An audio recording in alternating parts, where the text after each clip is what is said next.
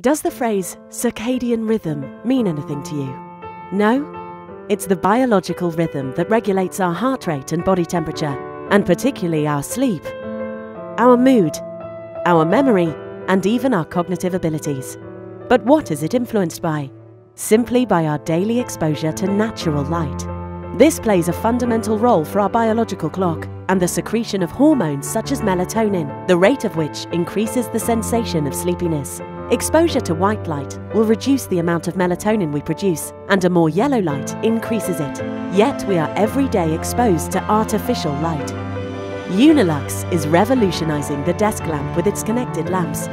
By reproducing the sun's light, the intelligent application My Unilux provides you with the ideal level of light throughout the day.